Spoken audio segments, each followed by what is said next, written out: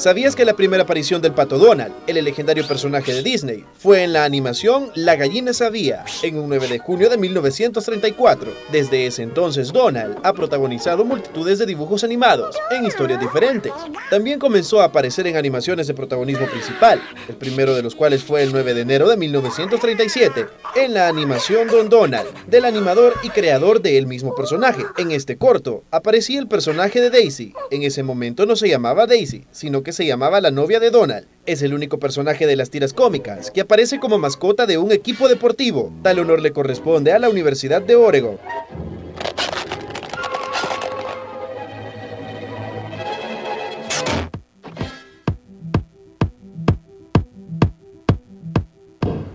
Hoy sí, estamos de regreso para contarles qué está pasando con los famosos y estamos disfrutando como siempre de una deliciosa Fanta. Ahí está, delicioso. Iniciamos Pop News con noticias de verdad que a nosotros nos han fascinado y antes queremos contarles, si usted no se había dado cuenta, Pau, estamos bastante contentas porque Dani Fornaris los invita a todos formalmente a que disfruten de la parodia de Pop 12 con Anillos de Saturno. Pero yo les presento a Pame, que es nuestra Dani Fornaris en este caso. Fíjate que Dani Fornaris vio nuestra parodia es que él pasa viendo Pop 12, eso pasó. Bueno, vio la parodia, él la compartió en su muro también, comentó la publicación. Sí, la comentó, ahí estuvimos viendo, nosotros compartimos y ya tienen en pantalla como Dani Fornaris pues les hizo la invitación ya formalmente de que tenían que ver la parodia. La parodia era pues de la canción que ahora está haciendo todo un hit, Anillos de Saturno, nosotros la denominamos como Anillos de Pop 12 y pues a él le hizo el día, comentó, nos hizo el día y puso jajaja. Ja, ja, le gustó muchísimo y por supuesto nosotros le hicimos con muchísimo cariño para todos ustedes y de verdad es un honor que los protagonistas del verdadero video pues también disfruten de esto. Fíjate que me encanta porque él dice que le hicimos el día con la parodia, nosotros no lo hizo comentándolo porque es algo que nosotros hacemos con mucho cariño, también le respondíamos que le decíamos éxitos y cariño desde El Salvador. Ahí está nuestro Dani Fornaris, la chica, este... Uy. La chica es su esposa, en realidad, así que Pame, somos esposos. Somos esposos, ahí estoy. La gente también, gracias por sus comentarios a través de nuestras redes sociales. Estaban diciendo, Pame, ni te conocías, porque yo, llevo un niño interno, pero no lo quisiera saber qué dijo Dani Fornaris cuando vio que era una chica.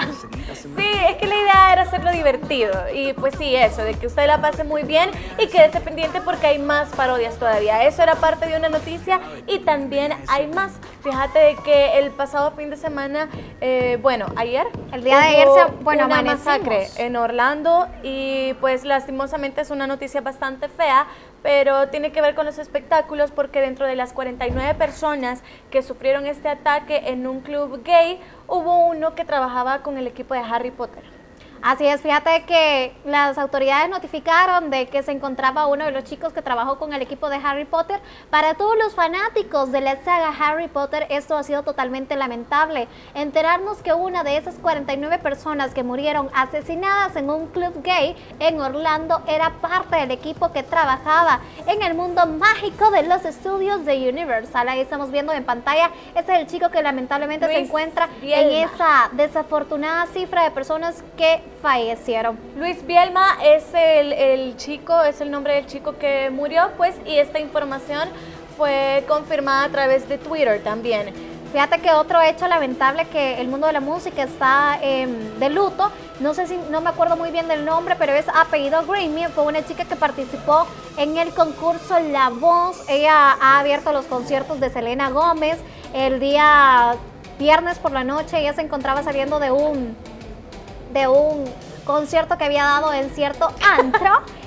Y pues que un fanático, no sé si sabemos si era un fanático loco, si de verdad la admiraba o la detestaba, se acercó a ella e inmediatamente la mató con cinco tiros que le Qué dio. feo. Así es, también. Son noticias lamentables, pero también nosotros lo queremos refrescar mejor un poquito. Y yo te tengo una pregunta para vos. Dime, dime. De las hermanas Jenner y también para ustedes, ¿quién le parece más sexy, Kylie o Kendall Jenner?